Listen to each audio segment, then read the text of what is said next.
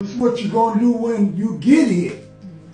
You're gonna get teed off and you're gonna holler and scream and cuss and fuss and, you know, try to put up a fight. Get back up. All your composure. Be strong. And then do what you know how to do. And if you don't, it's always a master builder. All you gotta do is ask him. Man, nothing but love for you, man. Let me get out of here and let you get some rest, man. Give me a big hug, man. Mm-hmm. Nothing but love for you, man. I'm praying hard for you, man. Hard. Be praying hard for you, man. I love you, man. God's gonna bless you, man. And your dream and your wish and everything is gonna come true. You hear me?